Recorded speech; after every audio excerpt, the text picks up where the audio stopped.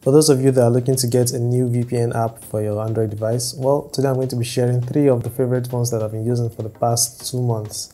Alright, let's begin. Alright, so the first app we're going to talk about is called VPN Speed, and I like it for three reasons. The first reason is that it has a very clean interface.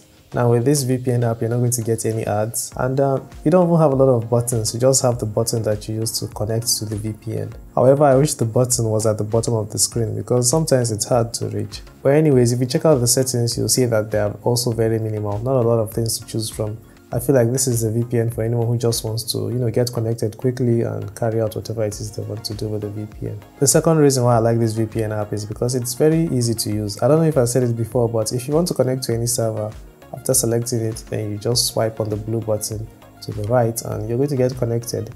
Now the VPN app is going to try to show you that you have a new IP address, but you don't have to open any browser for that. You just need to head over to the browser or the website you want to use and uh, yeah, you'll be connected to the country you selected. The final reason why I like this VPN is because the servers are free. Now most VPNs, the free ones, they will just give you a few countries to choose from but this one there are lots of countries that you can select and yeah i've tested most of them and they work so i'll suggest you give it a try. Although this vpn is great there's just one thing that i do not like about it and um, it's that you cannot select the apps that will be connected with the vpn so you know if you have like a banking app if your bank is a very good bank they will know when you're connected to a network that's not normal from what you normally access the bank with like if you have the banking app. So with this vpn app there's no way to you know remove your banking app or maybe a crypto app from accessing that network. And that's the only thing i don't like about it. But besides that i guess this is a very good vpn and uh, yeah you should check it out if you want. All right so the second vpn that i have on my list is called browsec. And um, this is one of the vpns that i've been using for a long time i actually started using it before the other two vpns that i will be talking about today and um, the reason why I like it is because it has a clean interface and um, this time the button is at the bottom so it is very reachable if you want to use the VPN app. Besides Browsec not having ads, it's also very easy to use and um, because this time the button is at the bottom, you just need to tap on it and you're going to get connected. You also have this feature where you can select one app on the free version, you can only select one app that will not use the VPN network, unlike VPN Speed that doesn't have that feature, but uh, here you're going to get that.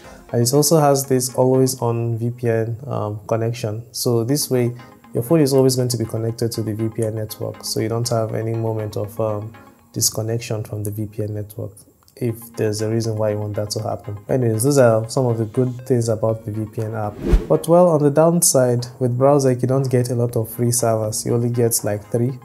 And um, I've had a time when all the servers were not working besides the premium ones. So if you want to make sure that you're always having um, a VPN network to use, then make sure you get the premium version. But anyways, it didn't last up to two hours before they brought back the free servers.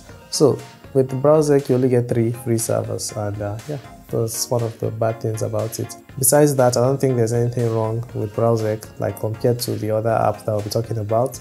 And uh, yeah, those are the good features and the not so good features. Alright, let's talk about the last one. Alright, so the reason why Potato VPN is my favorite VPN at this point is because it has a UDP network.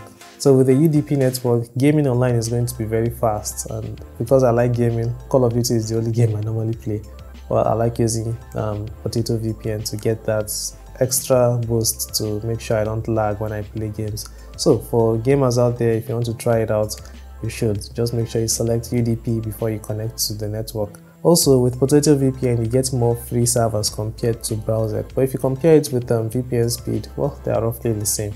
However, with Potato VPN, you don't get that feature where you can you know, remove an app from having the VPN connection. I wish they implemented that in this app, but uh, well, maybe in the future that may happen. Alright, so those are my three recommended free VPN apps for Android. And because I feel like you're interested in using VPNs, that means you must be interested in security. So watch this video to learn how to generate passwords that are very complex and will be hard for anyone to, you know, guess to hack your account.